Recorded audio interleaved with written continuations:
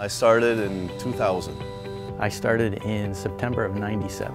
I started at Eastern in 1994. I started in 1986. I've been here 30 years. 44 years, 45 years. Uh, I started in uh, 1975. Been company 41 years. I started in October of 1971. We always help. The guys always go the extra mile with our customers. When we go in and we are able to do that for them, that's what keeps them calling us. You don't want your customers to go anyplace else. My grandfather had that philosophy 40 years ago, but it, it always stayed with me. Meeting that challenge, succeeding at it every day is what really gets me to get up in the morning and go to work. It's about how we do it. It's about the service behind it. It's when they call, someone comes.